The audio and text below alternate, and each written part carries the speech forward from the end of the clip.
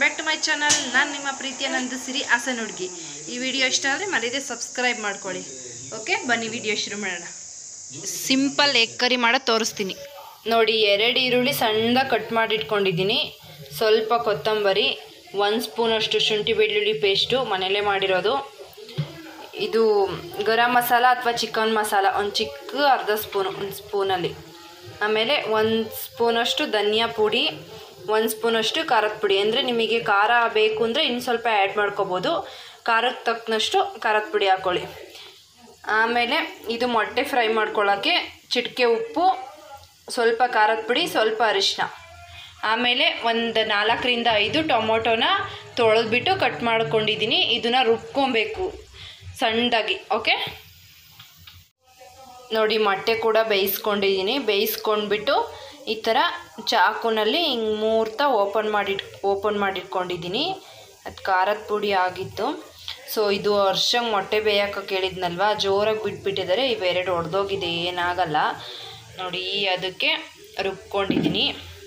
ಇವಾಗ ಈ ಕಡೆ ಎಣ್ಣೆ ಕಾಯಕ್ಕೆ ಇಟ್ಕೊಂಡಿದ್ದೀನಿ. ಸ್ವಲ್ಪ ಎಣ್ಣೆ ಹಾಕ್ಕೊಂಡು. ಇವಾಗ ಅರಿಶಿನ ಖಾರದ ಪುಡಿ, ಉಪ್ಪು ಒಟ್ಟಿಗೆ ಹಾಕೊಳ್ಳಿ. ಸೊ, ಸ್ವಲ್ಪ ತೊಗೊಂಡಿದ್ವಲ್ಲ, ಅದನ್ನು. ಹಾಕೊಂಬಿಟ್ಟು ಸ್ವಲ್ಪ ಹಿಂಗೆ ಕೈ ಆಡಿಸಿ, ಇವಾಗ ಈ ಮೊಟ್ಟೆನ ಫ್ರೈ ಮಾಡ್ಕೋಬೇಕು. ಈ ಥರ ಮಾಡ್ಕೊಳ್ಳೋದ್ರಿಂದ ಟೇಸ್ಟಿಯಾಗಿ ಬರುತ್ತೆ. ನೋಡಿ, ಸ್ವಲ್ಪ ಮೀಡಿಯಮಲ್ಲೇ ಇರಲಿ, ಗ್ಯಾಸ್ ಲೋ ಫ್ಲೇಮಲ್ಲಿ ಇಟ್ಕೊಬಿಟ್ಟು, ಇಲ್ಲಾಂದರೆ ಖಾರದ ಪುಡಿ ಕಪ್ಪಾಗ್ಬಿಡುತ್ತೆ. ಗ್ಯಾಸ್ ಲೋ ಫ್ಲೇಮಲ್ಲಿ ಇಟ್ಕೊಬಿಟ್ಟು ಈ ಥರ ಫ್ರೈ ಮಾಡ್ಕೊಳ್ಳಿ. ಓಕೆ?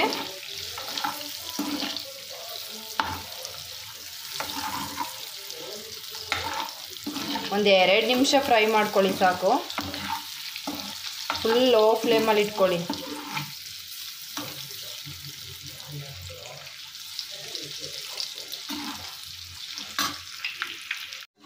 ನೋಡಿ, ಫ್ರೈ ಆಯಿತು ಮೊಟ್ಟೆ. ಎತ್ತಿಟ್ಕೊಂಡೆ. ಈಗ ಸ್ವಲ್ಪ, ಇನ್ನೊಂದು ಸ್ವಲ್ಪ ಎಣ್ಣೆ ಹಾಕೋತಾ ಇದ್ದೀನಿ ಇದಕ್ಕೆ. ಇದಕ್ಕೆ ಇನ್ನೊಂದು ಸ್ವಲ್ಪ ಹಾಕ್ಕೊಂಬಿಟ್ಟು ಇವಾಗ ಈರುಳ್ಳಿ ಹಾಕ್ಕೊಳ್ಳಿ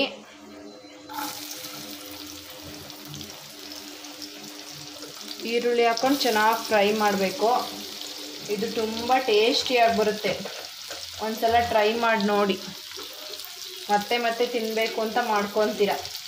ಅಷ್ಟು ಚೆನ್ನಾಗಿರುತ್ತೆ.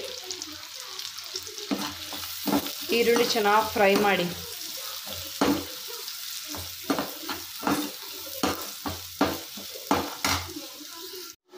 ನೋಡಿ, ಈರುಳ್ಳಿ ಚೆನ್ನಾಗಿ ಫ್ರೈ ಆಯ್ತು. ಇವಾಗ ಶುಂಠಿ ಬೆಳ್ಳುಳ್ಳಿ ಪೇಸ್ಟ್ ಹಾಕ್ತಾ ಇದ್ದೀನಿ. ಪೇಸ್ಟ್ ಹಾಕ್ಬಿಟ್ಟು, ಹಾಂ, ಇಕ್ಕಿದ್ದೀನಿ.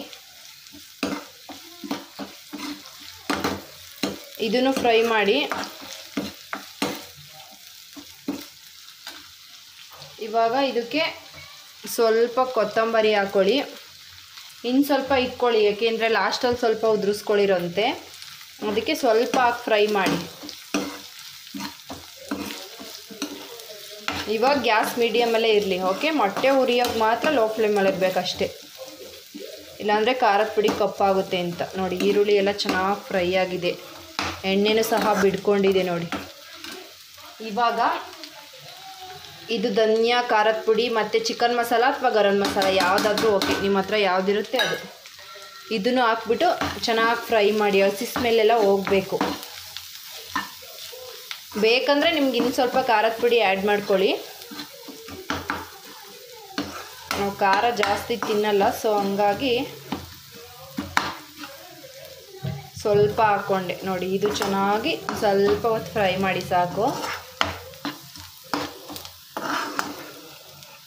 ನಾವು ಧನಿಯಾ ಯೂಸ್ ಮಾಡ್ತೀವಲ್ಲ, ಧನಿಯಾ ಪುಡಿನ, ಅದು ಹೇಗೆ ಮಾಡ್ತೀವಿ ಮನೇಲೆ ಅಂತ ನೆಕ್ಸ್ಟ್ ವೀಡಿಯೋದಲ್ಲಿ ಅಪ್ಲೋಡ್ ಮಾಡ್ತೀನಿ.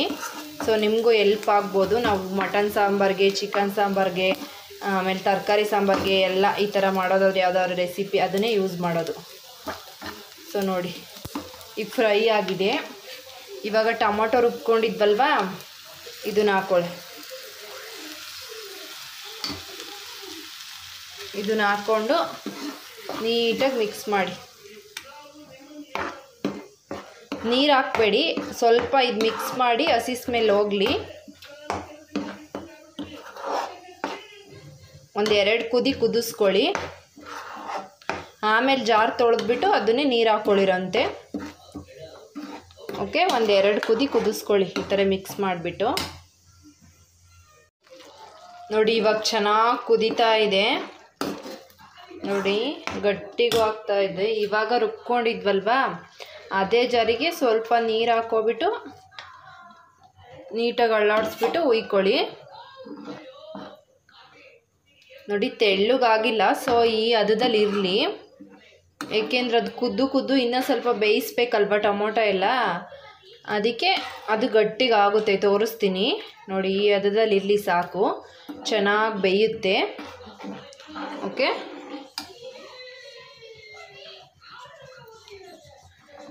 ನೋಡಿ, ಈ ಥರ ಮಿಕ್ಸ್ ಮಾಡ್ಕೊಳ್ಳಿ ನಿಧಾನವಾಗಿ. ತುಂಬ ಚೆನ್ನಾಗಿರುತ್ತೆ. ನಾನು ಬಂದು ರೈಸ್ಗೆ ಮಾಡ್ತಾ ಇದ್ದೀನಿ.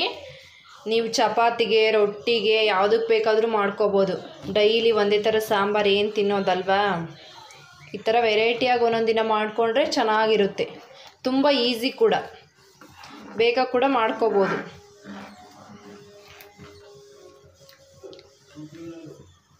ನೋಡಿ. ಈ ಥರ ಕುದಿತಾ ಇದೆ ನೋಡಿ.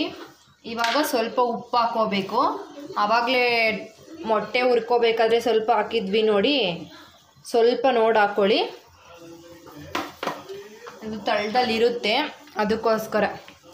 ಇವಾಗ ಸ್ವಲ್ಪ ಕುದಿಸ್ಕೊಳ್ಳಿ ಇದನ್ನು ಚೆನ್ನಾಗಿ.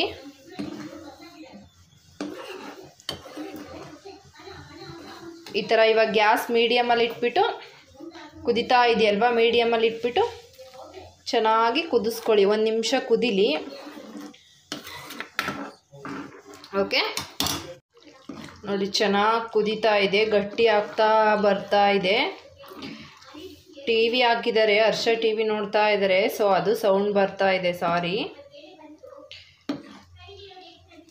ನೋಡಿ, ಇನ್ನೊಂದು ಎರಡು ನಿಮಿಷ ಕುದಿಸಿದ್ರೆ ಫುಲ್ ಗಟ್ಟಿಯಾಗಿ ಹೋಗ್ಬಿಡುತ್ತೆ. ಈ ಟೈಮಲ್ಲಿ ಇವಾಗ ಮೊಟ್ಟೆ ಹಾಕ್ಕೊಳ್ಳಿ ಮೊಟ್ಟೆ ಹಾಕ್ಕೊಂಡು ನೀಟಾಗಿ ಮಿಕ್ಸ್ ಮಾಡಿ. ಮೊಟ್ಟೆ ಅರ್ಧ ಭಾಗ ಕೂಡ ಬಾ, ಮಾಡಿಬಿಟ್ಟು ಹಾಕೋಬೋದು. ಸೊ ಭಾಗ ಮಾಡಾಕೊಂಡ್ರೆ ಅಂದರೆ ಈ ಟೈಮಲ್ಲಿ ಭಾಗ ಮಾಡಾಕ್ಬೋದು. ಮುಂಚೆನೇ ನಾವು ಫ್ರೈ ಮಾಡ್ತಿರ್ತೀವಲ್ಲ, ಅವಾಗ ಭಾಗ ಮಾಡಬಾರ್ದು. ಭಾಗ ಮಾಡಾಕಿದ್ರೆ ಇದು ಬಿಡ್ಕೊಂಬಿಡುತ್ತೆ ಭಂಡಾರ ಎಲ್ಲ ಅಂತ ನಾನು ಭಾಗ ಮಾಡಿಲ್ಲ. ನಿಮ್ಗೆ ಇಷ್ಟ ಅಂದರೆ ಬೇಕಾದರೆ ಭಾಗ ಮಾಡಿ ಕೂಡ ಹಾಕೊಬೋದು. ನೋಡಿ, ಒಂದು ಎರಡು ನಿಮಿಷ ಚೆನ್ನಾಗಿ ಕುದಿಸಿ.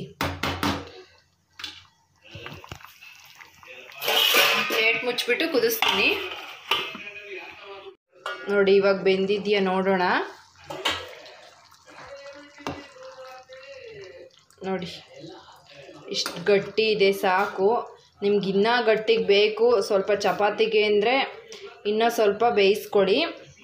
ಒಟ್ಟು ಬೆಂದಿದೆ, ಗಟ್ಟಿ ಬೇಕು ಅಂದರೆ ಬೇಯಿಸ್ಕೊಬೋದು. ಸಾಕು, ನಾನು ರೈಸ್ ಕಲ್ವ ಮಾಡ್ತಿರೋದು. ನಾವು ಇನ್ನೂ ಒಂದು ಅರ್ಧ ಗಂಟೆ ಬಿಟ್ಟು ಊಟ ಮಾಡೋದು. ಸೊ, ಅಷ್ಟರೊಳಗೆ ಇನ್ನೂ ಸ್ವಲ್ಪ ಗಟ್ಟಿ ಆಗುತ್ತೆ. ಇವಾಗ ಸ್ವಲ್ಪ ಅದ್ರ ಮೇಲೆ ಕೊತ್ತಂಬರಿ ಉದುರಿಸ್ಬಿಟ್ಟು ಗ್ಯಾಸ್ ಆಫ್ ಮಾಡ್ಕೊಳ್ಳಿ. Egg curry ready. ತುಂಬ ಈಸಿ ಆ್ಯಂಡ್ ವೆರಿ ಟೇಸ್ಟಿ. ನೋಡಿ, ರೈಸ್ ಕೂಡ ರೆಡಿ ಆಯಿತು. ಇವಾಗ ಎಗ್ ಕರಿ ನೋಡಿ, ಎಷ್ಟು ಗಟ್ಟಿ ಇದೆ ನೋಡಿ. ಓಕೆ ಈ ವಿಡಿಯೋ ಇಷ್ಟ ಆದರೆ ಮರೀದೆ ಸಬ್ಸ್ಕ್ರೈಬ್ ಮಾಡ್ಕೊಳ್ಳಿ, ಹಾಗೆ ಲೈಕ್ ಕೂಡ ಮಾಡಿ. Bye bye. Take care.